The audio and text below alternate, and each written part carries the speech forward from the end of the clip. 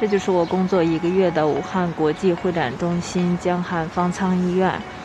转眼间一个月已经过去了，想起我们第一天来的时候，站在雨中等物资，等人来和我们交接。这是我们每天上班之前来领物资的地方。情人节那天，这里放了好多的康乃馨，我们还拿了康乃馨，每个人拍了张照片。晚上二十三点四十五分。又是一个夜班，我要准备去接班。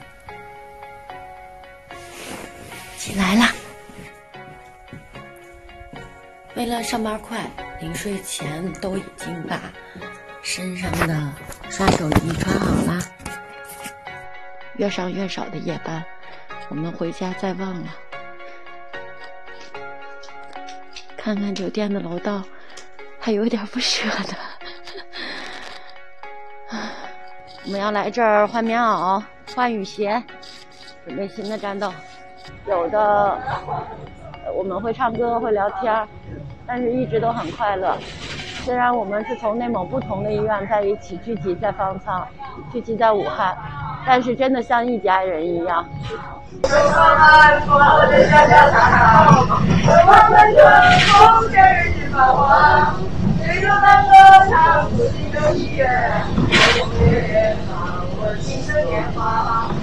大家就是心往一一处想，劲往一处使，指哪打哪。我们是一个必胜的团队，我们叫做尖刀队。那我们再做检查一下自己，要准备出发了。深夜的大夫也在一直在写病历。啊，现在再看看这儿，我的工作区域都已经特别干净，空无一人了。再次来到这儿，看到空床，有点开始想念他们了，想念出院的患者。在这里面，都有我记忆深刻的病人。三零零四、三零零五，他们俩是两口子。我不知道我还有几个夜班会再来上。以后方舱撤了，这儿又变成了会展中心。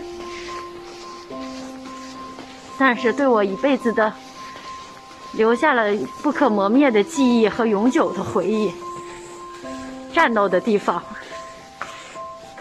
看到了吗？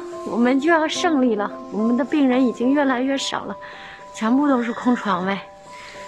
司机师傅知道我们可能会很快回家，特意从汉口最繁华的火车站这边开过去，让我们好好看一看汉口火车站。我们来了，我们以后还会来的。中国真的挺厉害，挺伟大的。一一声召集，咱们就都来了。背靠强大的国，团结的人民，我们一定站好最后一班岗，不破楼兰终不还。